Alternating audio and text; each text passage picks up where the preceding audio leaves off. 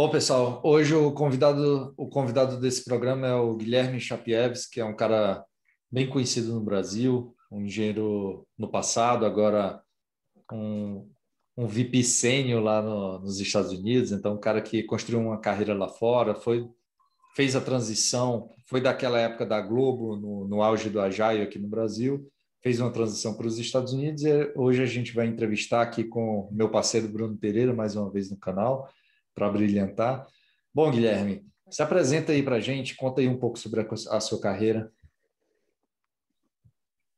Beleza, obrigado pessoal, obrigado pelo convite. É, eu sou, eu sou quando as pessoas me chamam de Guilherme, já é aquela história de tipo, pô, fiz merda, o que aconteceu? Posso falar palavrão? Tranquilo, né? Fica à vontade. Não sei se tem criança assistindo, mas é, eu sou eu sou vice-presidente de engenharia aqui no PayPal hoje. Eu estou aqui nos Estados Unidos há mais ou menos 10 anos.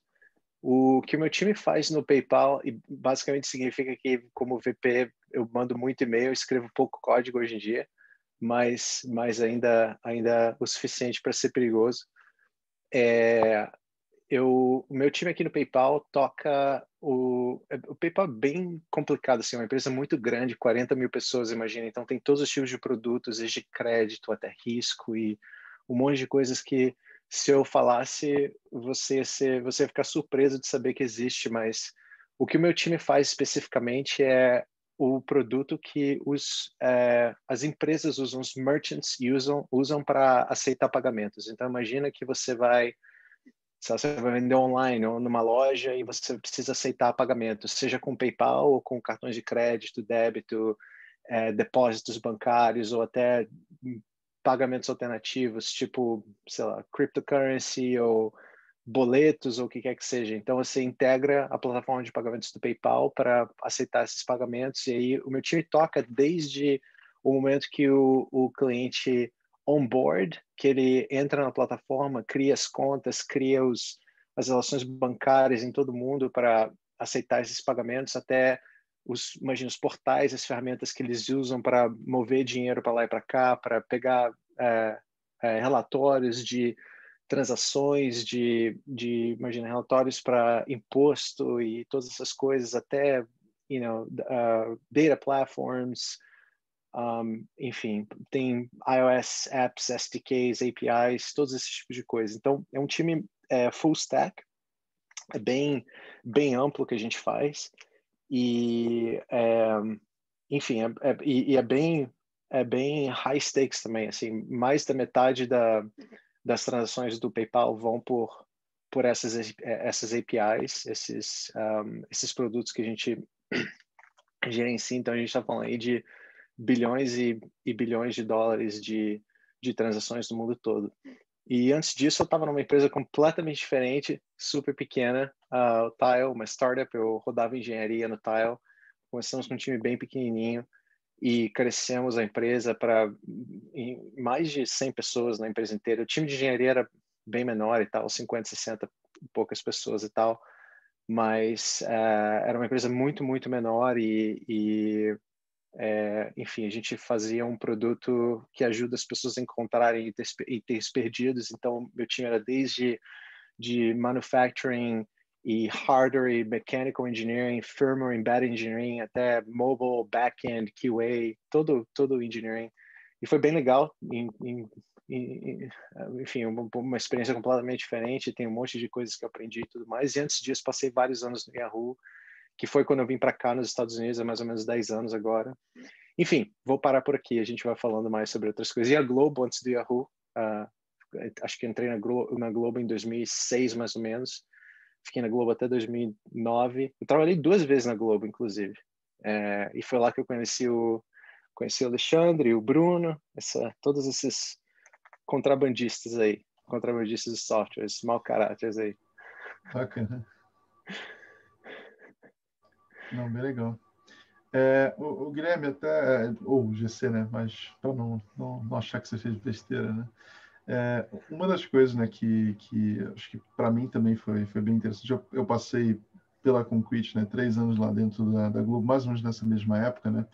E foi legal porque é, você, na prática, é condicionado a pensar como que seu produto vai rodar em produção desde o primeiro momento. Assim, até o pessoal me contava umas histórias de terror que, assim, se você desenvolvesse alguma coisa e o cara de, de teste de carga derrubasse sua aplicação em menos de um minuto, alguma coisa assim, cara, você, enfim, você sofrer muito constrangimento, não ia tentar colocar mais nada em produção nem tão cedo, né?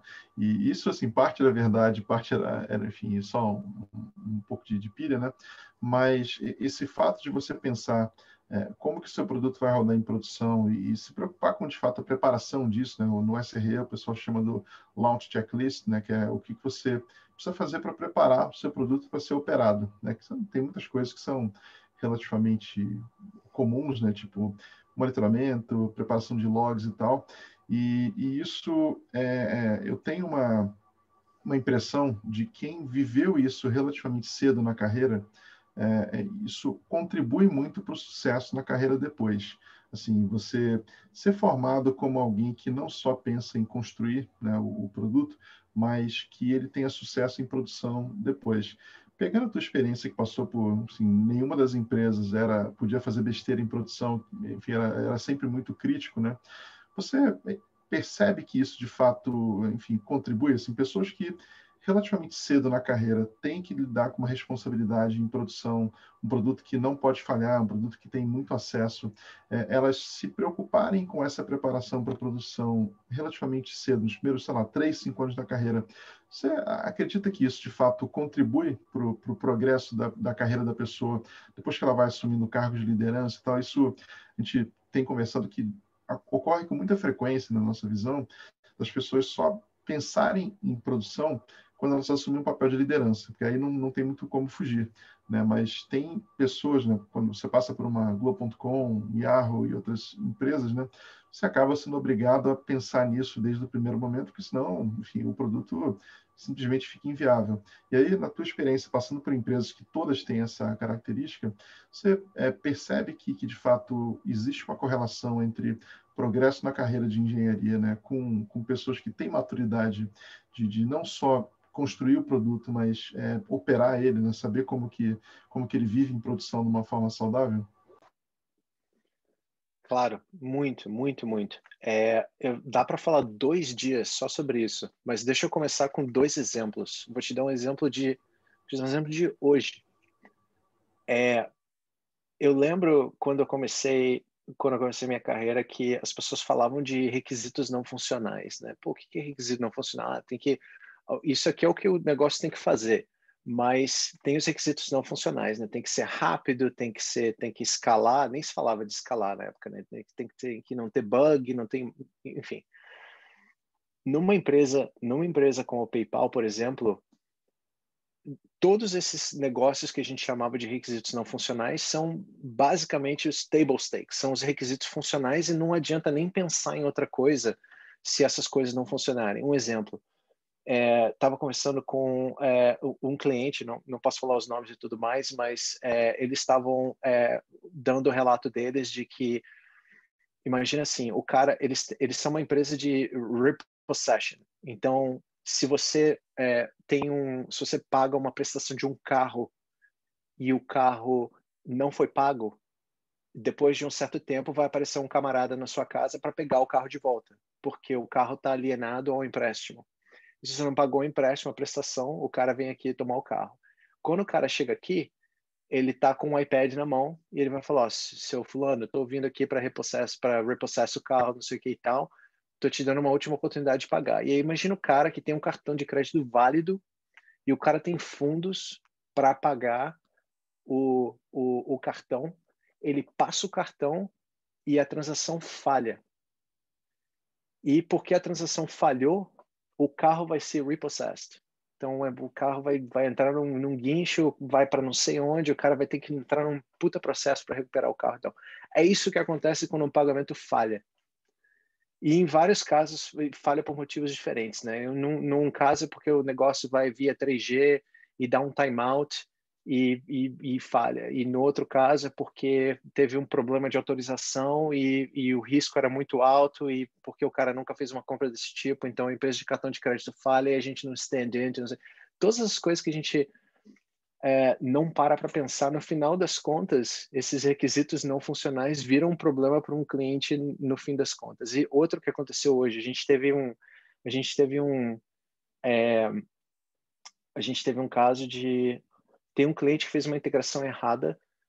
Imagina uma API bem antiga que uh, um dia começou a dar problema e os caras falaram, ó, oh, quando der problema, vamos dar um retry.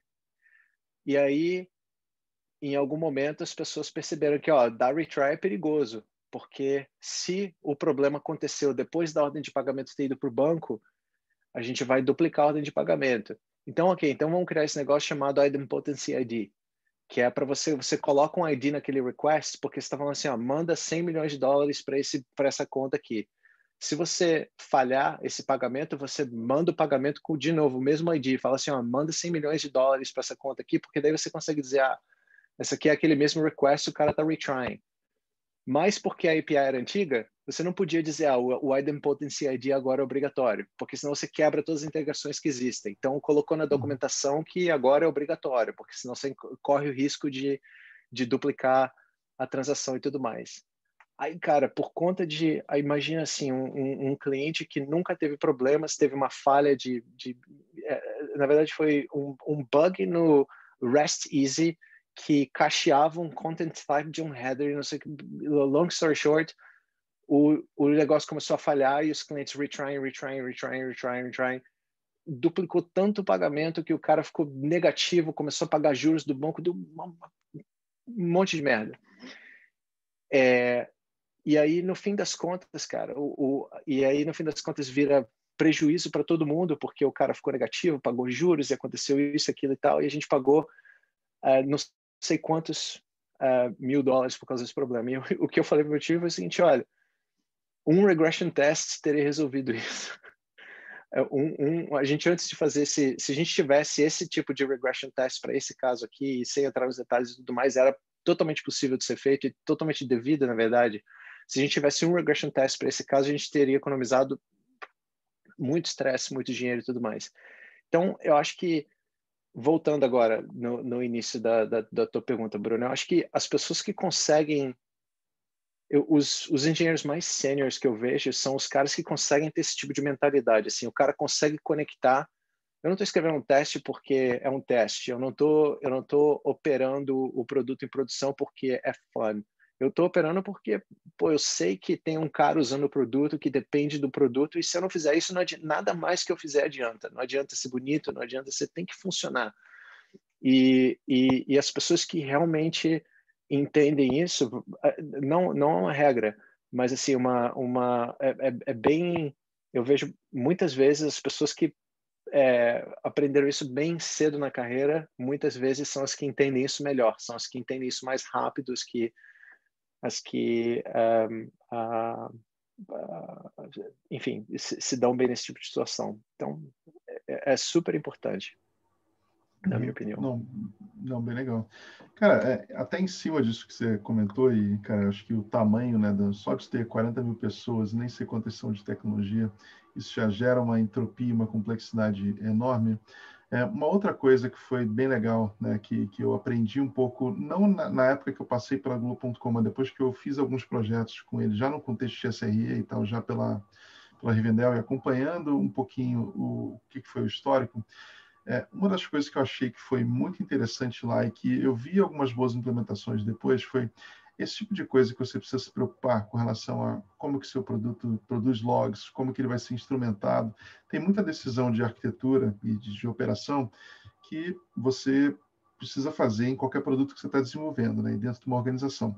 Só que se você deixa o teu time de produtos totalmente autônomo para pensar esse tipo de coisa, depois na operação, se você tem, sei lá, 20 stacks diferentes né, de, de monitoramento, logs, APM, tudo que está envolvido nisso, a operação pode ser muito complexa. Né? Então, existem abordagens, né? um modelo que, é, que eu, eu, acho super vencedor é você tentar criar algo tipo um Platform as a Service, né? no qual você tenta padronizar um pouco mais como que essas coisas funcionam. E, por exemplo, um exemplo da, da Globo era o Tsuru, né? antes do, do Kubernetes existir, é, ser open source, né? É, o Tsuru foi algo que, por exemplo, permitia que vários produtos distintos o Cartola, o Globo Vídeos, vários produtos que, que a proposta final era bem diferente, pudessem compartilhar padrões de operação, né, a forma como eles produziam e analisavam logs, a forma como eles eram instrumentados e tal. Isso é, reduzia muito a complexidade da operação e reduzia também a carga operacional. Você precisava operar menos né, para o pro produto se manter é, disponível. No, na tua estrutura, né, ou até na, nas tuas experiências anteriores, você já viu esse tipo de, de, enfim, de ambiente ser construído também? Existiam tipicamente plataformas privadas da empresa que tentavam padronizar um pouco mais para que o time, cada time, enfim, pudesse ser autônomo, né, mas ser autônomo só no que era realmente o core de negócio dele e não em toda a pilha, né, ou isso, é, não, enfim, não, não acontecia tanto?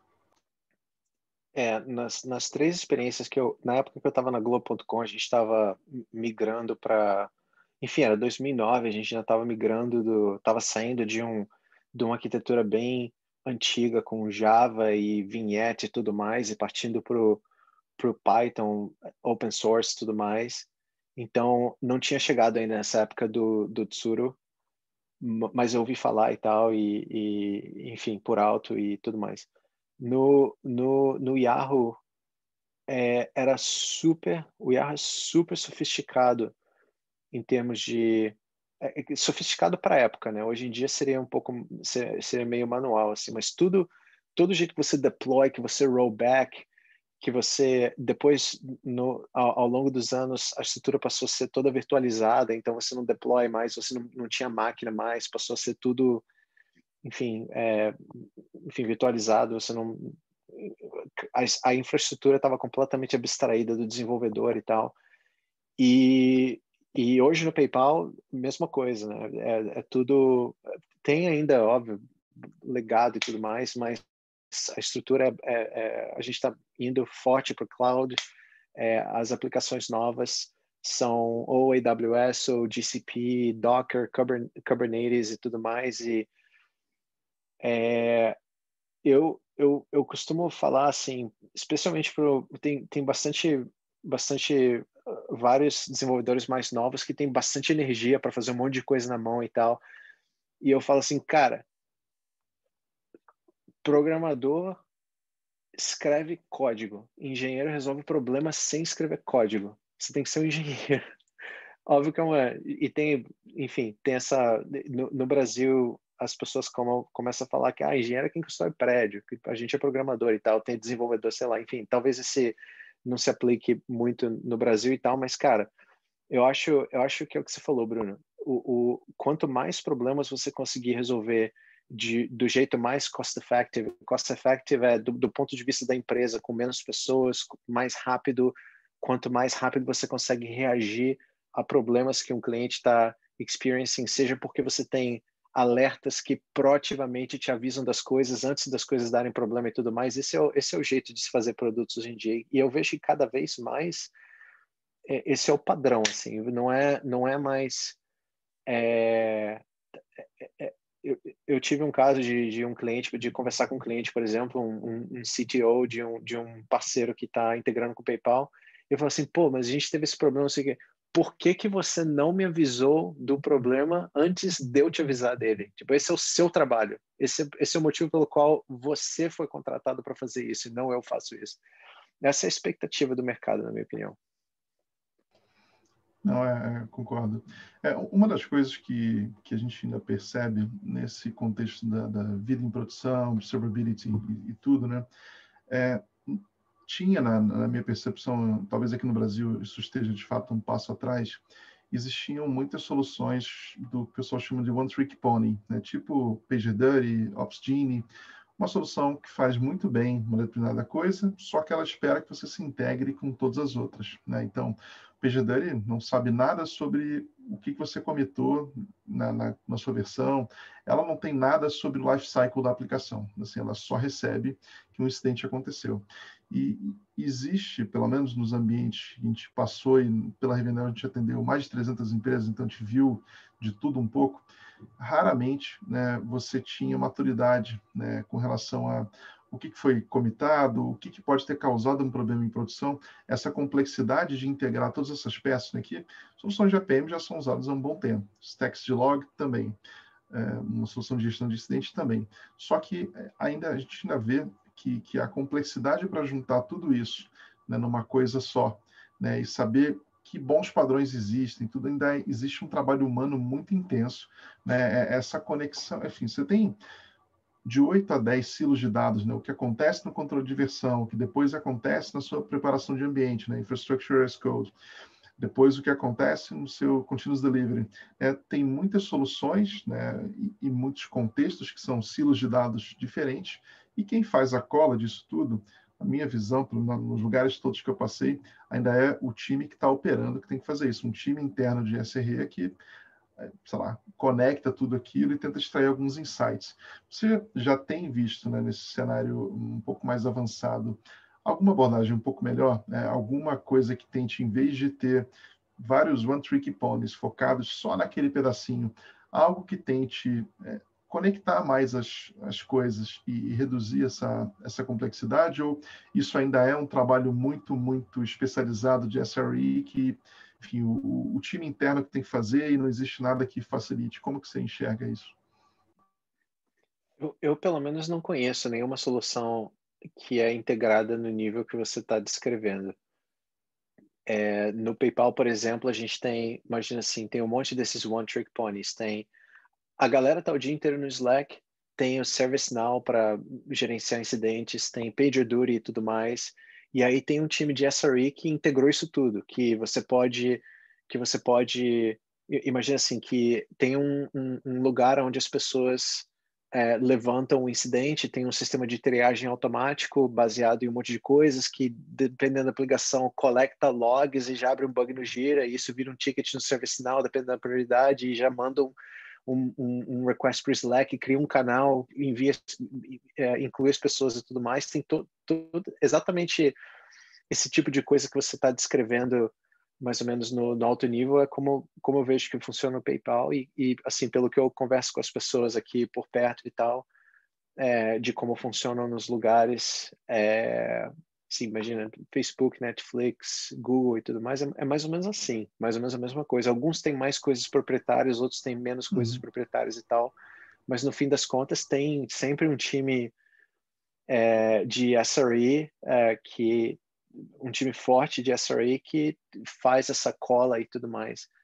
E o que eu o que eu vejo que é, o, o, o que eu percebo assim é que quando você